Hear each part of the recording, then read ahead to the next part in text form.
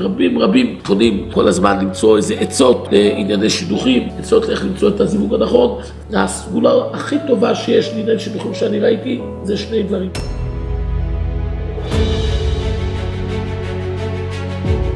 הראשון, לקבל אדם על עצמו שכשיתחתן ישמור את כל ההלכות של טהרת המשפחה, זה צריך ללמוד מרב או אישה ללמוד מרבנית, לדעת את ההלכות של טהרת המשפחה.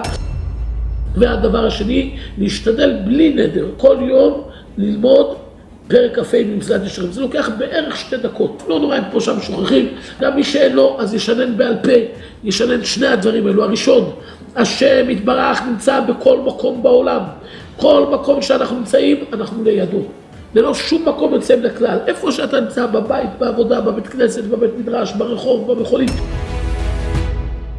ולהתמודד בזה, להתרגש ממנו, לא סתם להגיד, הוא נמצא, מה אכפת לי, חס וחלילה.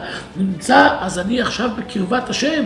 זה התרוממות הרוח, אני עכשיו בקרבת השם.